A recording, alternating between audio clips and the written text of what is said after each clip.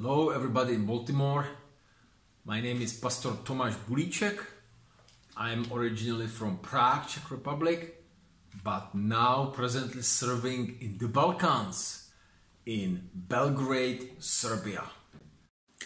And as you see, Belgrade is a city which never sleeps and is always alive, and there is always a lot of people on the streets, which makes it so easy to evangelize and spread the gospel.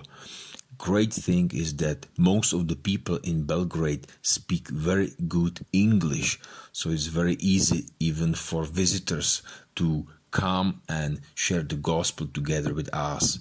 As you see, we are using different means of evangelism, including the shoe boxes, Christmas packages. We also do some street evangelism in the different forms, including theater among the gypsy communities or on the streets. We are using the gospel cube to spread the gospel uh, in the places where it's difficult with our language. We, uh, with the main focus to bring people to church. Uh, on Wednesdays, we have a Bible school where we want to train our students to learn the character of God and the Word of God, using also ABD, Pastor Schaller, Pastor Scibelli, Pastor Stevens, and so on. Uh, with the view of the children, we have a club for the children where we gather our contacts and we play different games with them. And after that, we share the gospel. Uh, in summer, we have a summer camp, and it's a camp for the young, including a lot of fun and sport activities.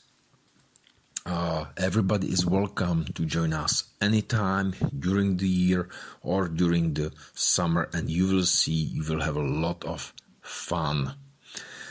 We had also our first summer camp this year, and uh, as a bonus, we also did some really adventurous things. Fridays, usually, we do men's meetings where young men we meet over a cup of coffee and we get some teachings from the Bible. This is our church, this is our group. Uh, pray for us and thank you that you are part of this. Uh, in January 2022, we are expecting Chad and Ray to join our team. Thank you very much for being part of this God's great work here in the Balkans. God bless you all. Amen.